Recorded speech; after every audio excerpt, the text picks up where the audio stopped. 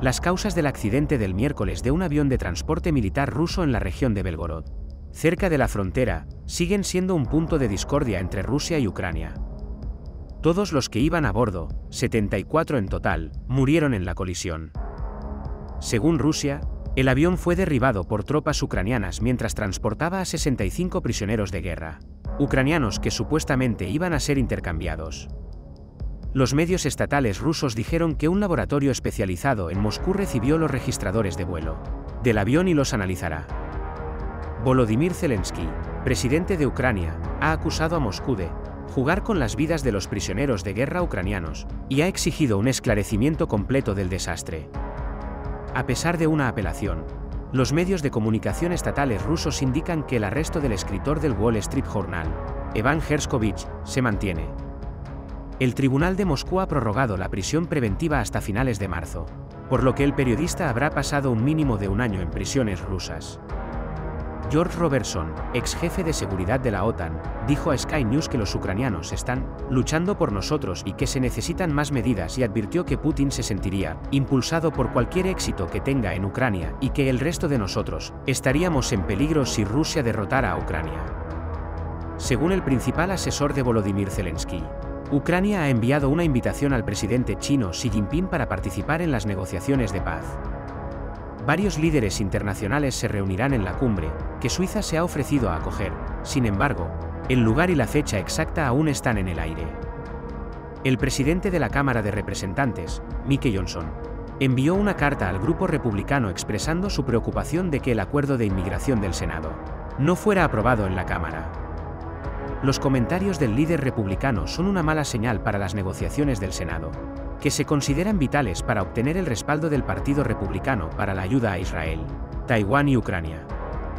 Mientras Finlandia se prepara para emitir sus votos por primera vez desde que se unió a la OTAN, su favorito para la presidencia ha declarado que la política exterior y la seguridad del país son preocupaciones existenciales. La nación nórdica votará el domingo. Alexander Stubb, quien fue primer ministro de 2014 a 2015, dijo en un desayuno en Helsinki el viernes en un café que lleva su nombre que había asumido que había terminado con la política nacional. Sin embargo, su opinión había cambiado después de que Rusia invadió Ucrania. Según Stubb, del partido de centroderecha Coalición Nacional, los nueve contendientes que compiten por suceder al presidente de Finlandia durante dos mandatos, Sauli Niinisto, en marzo tuvieron debates muy constructivos. Todos los líderes, afirmó, eran competentes para el puesto. Aunque todavía está muy por delante del resto, la carrera por el primer puesto ha estado más reñida en las últimas encuestas. Pekka Javisto, exministro de Asuntos Exteriores y candidato del Partido Verde, está acortando la distancia con Stu, mientras que el miembro de extrema derecha del partido finlandés Jussi Ayao está acortando la distancia hasta el tercer lugar. Se prevé que los dos mejores candidatos pasen a la segunda vuelta. Las discusiones han sido realmente productivas y hay una buena razón para ello, afirmó Stu, de 55 años. Cuando se trata de las políticas exterior y de seguridad de Finlandia, todos están en la misma página porque son fundamentales.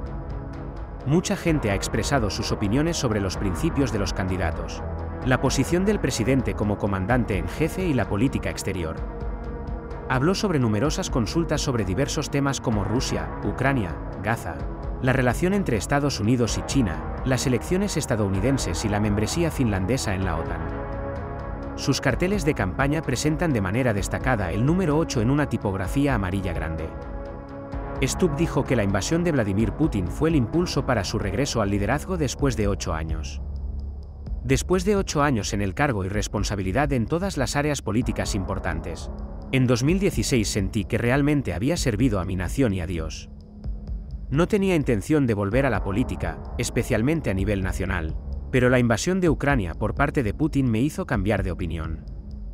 Piensa que Finlandia está entrando en una nueva era en la política exterior finlandesa, después de unirse a la OTAN a una velocidad récord en abril.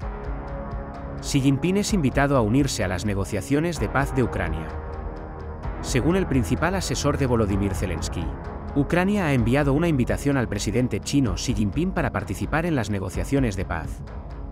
Varios líderes internacionales asistirán a la cumbre, que se celebrará en Suiza, pero el lugar y la fecha exactos aún están en el aire, según Sky News. El asesor de Zelensky, Igor Zokwa, afirmó que ciertamente se extiende la invitación a China para asistir a la cumbre al más alto nivel, incluido el presidente de la República Popular China. Valoraremos mucho la participación de China. Involucrar a nuestros socios globales ayuda a garantizar que la parte china escuche lo crucial que es para ellos asistir a este tipo de reunión. La participación de China en las discusiones puede desempeñar un papel fundamental para poner fin a la guerra. Aunque Beijing ha mantenido estrechos vínculos con Rusia desde la invasión rusa de Ucrania en 2022, también ha brindado servicios de mediación y ha declarado que se debe defender la soberanía y la integridad territorial de todas las naciones. El futuro de la situación en Ucrania puede depender de las opiniones de ONCE sobre un posible acuerdo de paz. Sigue siendo uno de los aliados más cercanos de Vladimir Putin entre las grandes naciones. Reuters afirma que dos días antes del incidente cerca de la frontera con Ucrania, un avión militar ruso que, según Moscú, transportaba prisioneros de guerra ucranianos fue derribado. En el lugar del accidente, Rusia afirmó haber encontrado tarjetas de identificación ucranianas y partes del cuerpo tatuadas. El avión Ilyushin Il-76 se estrelló en la zona de Belgorod en Rusia, matando a 74 personas y capturando a 65 soldados ucranianos más que supuestamente serían canjeados por prisioneros de guerra rusos, según las acusaciones de Moscú. Ucrania ha declarado que no hay pruebas de quien estaba a bordo del avión y no ha reconocido ni cuestionado que sus soldados derribaron el avión. Ha exigido una investigación internacional y cuestionado elementos de la narrativa de Moscú. Algunas de las partes del cuerpo que fueron tomadas y analizadas en busca de genética tenían tatuajes únicos que se parecían a los de los ucranianos a quienes Rusia había interrogado bajo custodia, según el Comité de Investigación Estatal de Rusia. Documentos de los militares ucranianos que murieron en el desastre, que confirman sus identidades, así como documentos adjuntos del Servicio Penitenciario Federal de Rusia, añadió sobre las pruebas reunidas. Solo se puede acceder al lugar del accidente en Rusia. Reuters no pudo confirmar de forma independiente su historia ni la información que había recopilado. Un misil tierra-aire lanzado desde Ucrania impactó en el avión, según las conclusiones preliminares anunciadas el jueves por el Comité de Investigación. Las autoridades ucranianas han negado las afirmaciones rusas de que fueron informadas de que un avión que transportaba prisioneros de guerra ucranianos pasaría sobre la región de Belgorod durante ese periodo. También ha planteado preocupaciones sobre las inconsistencias en una lista de 65 ucranianos que, supuestamente, fue publicada por los medios rusos, afirmando que algunos de los nombres en la lista eran en realidad tropas que habían regresado en un intercambio anterior. El portavoz del Kremlin, Dmitry Peskov, negó tener conocimiento de la publicación de ninguna lista oficial. Cuando los periodistas le preguntaron si sabía si los restos serían enviados a Ucrania, dijo que no. El ministro de Asuntos Exteriores ruso, Serga Peskov, respondió, no tengo nada que añadir en este momento. Cuando se le preguntó si Moscú presentará pruebas al Consejo de Seguridad de las Naciones Unidas y otras organizaciones internacionales de que Ucrania derribó el avión. El equipo de investigación está trabajando arduamente y no tomarán ninguna decisión hasta que hayan recopilado todos los datos relevantes. Los medios estatales rusos dijeron que las cajas negras del avión habían sido transferidas a un laboratorio especial con sede en Moscú dirigido por el Ministerio de Defensa ruso, donde los investigadores las están examinando ahora.